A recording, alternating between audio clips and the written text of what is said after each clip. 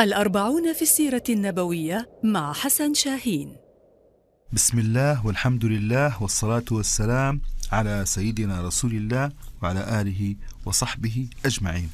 أهلا وسهلا ومرحبا بكم أيها الإخوة والأخوات في كل مكان ومع لقاء جديد من برنامج الأربعون في السيرة النبوية. أحاديث أربعين حديث نقرأها في السيرة النبوية ونتحاور مع بعض ونتناقش مع بعض. ربنا سبحانه وتعالى يكرمنا جميعا بمحبة النبي عليه الصلاة والسلام ومرافقته في الجنة. صلى الله عليه وسلم. وزي ما أقول لكم دائما من جمال إننا إحنا نجيب برامج عن السيرة النبوية وعن أحاديث النبي صلى الله عليه وسلم. إننا نكثر الصلاة عليه والصلاة عليه فضل وأجر وخير من الله عز وجل. عن سهل بن سعد الساعدي أن رسول الله صلى الله عليه وسلم أتي بشراب يعني كان جالس مع الصحابة في جلسة فأتي بشراب أتي جاء واحد أدى شراب للنبي عليه الصلاة والسلام فشرب منه وعن يمينه غلام وعن يساره أشياخ كبار. فقال للغلام أتأذن لي أن أعطي هؤلاء اللي على اليسار؟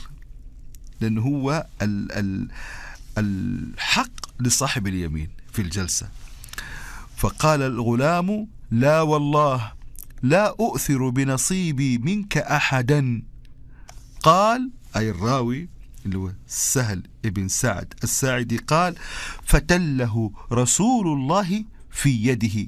تله في يده وضعه في يده ودفعه إليه. أي دفع الإناء. متفق عليه رواه البخاري ومسلم. أعيد الحديث ونشرحه. وعشان نتصور الحديث. النبي عليه الصلاة والسلام جالس بجلسة مع الصحابة. على يمينه غلام صغير. وعلى يساره رجال كبار. على يساره رجال كبار. شرب هذا الشراب لبن أو اللي هو شرب منه صلى الله عليه وسلم. النظام إنه يدي اللي على يمينه. هذا النظام. لكنه شاف اللي على اليسار كبار فحب إنه يعطيهم لكن ما يعطيهم إلا حين يستأذن. شوفوا شوفوا قمه قمة العظمة في التعامل النبوي. ما قال ولد صغير أسيبه. ولد صغير لا أهتم بشأنه. لا لا لا ابدا ابدا. كلم الغلام فقال للغلام أتأذن لي أن أعطي هؤلاء؟ الغلام برضو ذكي. قال لا والله لا أؤثر بنصيبي منك أحدا. فين طيب السؤال؟ فين النصيب اللي هو إحنا نفكر فين النصيب اللي يبغاه هذا الغلام؟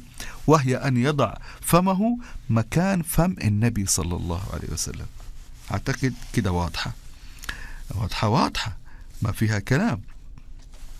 هذا الحديث يصور مجلسا للنبي صلى الله عليه وسلم مع أصحابه كان فيه عن يمينه صبي وعن يساره أشياخ فأتى بشراب فأراد أن يشرب بعده الأشياخ ويقدمه على الغلام لمكانة سنهم ويعني أشياخ غير أن عدله صلى الله عليه وسلم وتقديره واحترامه لحق الطفل أقتضى سؤال الصبي عن ذلك لأن من حقه البدء به أي باليمين. فلما أبى الصبي أن يقدم عليه غيره حرصا منه على التبرك بفضل رسول الله صلى الله عليه وسلم. هذه هي. حرصا منه الطفل حرصا على التبرك بفضل رسول الله صلى الله عليه وسلم دفعه إليه مقدما مقدما إياه على الأشياخ. الصحابة كانوا تعرفين كانوا يتبركون بآثار النبي صلى الله عليه وسلم. في واحد من الصحابة والله أنا ماني قادر أفتكر اسمه لكن أنتوا دحين تسمعوا القصة وتكتبوا في جوجل القصة دي يطلع لكم اسم الصحابي. يعني جوجل خدم الأمة خدمة رهيبة جدا ريحنا يعني يحس أصبحنا نحيل على جوجل مع بعض. انت أنتوا تسمعوا القصة وتكتبوها في جوجل. وأيضا جوجل أصبح مشكلة. أنا ممكن أقول حديث تقول لي تحط في جوجل حديث ضعيف ما في أحد يقدر يألف ما في. بالمناسبة الحديث هذا اللي ذكرته لكم حديث متفق عليه رواه البخاري ومسلم.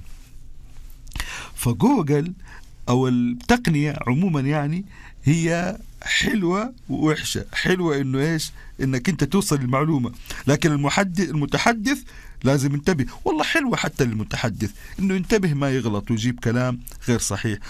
وأكثر شيء خطر في الأحاديث النبوية. من كذب علي متعمدا فليتبوأ مقعده من النار. هذا كلام النبي صلى الله عليه وسلم. الحديث هذا صحيح رواه الإمام مسلم. احذروا يا إخوتي الكرام يا أساتذتي يا أحبابي في الأحاديث الحديث إذا إحنا ما عندنا يقين هو صحيح أو هو المرتبة اللي أقل من الصحيح حسن نوخر عنه. الضعيف لا والموضوع طبعا كارثة من الكوارث. حديث موضوع. هي مرتبة الأحاديث إنه يا إما صحيح يا إما حسن يا إما ضعيف يا إما موضوع موضوع ده مصيبة. والضعيف برضو الواحد يوخر عنه. الإمام النووي ذكر في كتاب رياض الصالحين في المقدمة ذكر إنه يعني ممكن ممكن يعني الإمام النووي ممكن الاستئناس بالحديث الضعيف في فضائل الأعمال بشرط تبيين ضعفه. تبيين ضعفه. يعني ما نقول انه إنه صحيح ولا حسن. نقول هذا حديث ضعيف لكن في حاجات يعني ممكن الواحد يستفيد منها. في فضائل الأعمال في الأذكار في التسبيح أو ما شابه ذلك. وهذا موجود ما هو من عندي. وهنا نرجع لجوجل. لو كان قدامك جوجل اكتب رياض الصالحين وشوف المقدمة حقت رياض الصالحين. ذكرها الإمام النووي. حتى ذكر آه، في المقدمة ذكر آه، بيت شعر مرة حلو. أنا حفظته إن شاء الله أقدر أقوله مزبوط قال إن لله عبادا فطنا طلقوا الدنيا وخافوا الفتنا نظروا فيها فلما علموا أنها ليست لحي وطنا. جعلوها لجة أي بحرا جعلوها لجة واتخذوا صالح الأعمال فيها سفنا. هذا ذكرها الإمام النووي في الأبيات هذه إن لله عبادا فطنا. فطنا من الفطنة والذكاء. طلقوا الدنيا وخافوا الفتن. والله الدنيا تفتن. إذا كانت في في القلب ما هي في اليد. إذا كانت في اليد ما تتعب. إذا كانت في القلب تتعب. تتعب تتعب. والمقارنات والغيرة. يا الله ليش فلان عنده سيارة أحسن من سيارتي؟ وليش فلان عنده بيت أحسن من بيتي؟ وليش فلان سافر وأنا ما سافر تعب حقيقة. إن لله عبادا فطنا طلقوا الدنيا وخافوا الفتنا نظروا فيها فلما علموا أنها ليست لحي وطنا جعلوها لجة واتخذوا صالح الأعمال فيها سفنا أسأل الله سبحانه وتعالى أن يجعلنا منهم وأن لا تكون الدنيا تأثر فينا أو تتعبنا أو تزعجنا أو تمرضنا والعياذ بالله. ونسأل الله أنه يخرجنا منها بسلام. بسلام كما دخلناها بسلام. ودمتم في سلام وفي أمان الله. ألف ألف أف أم.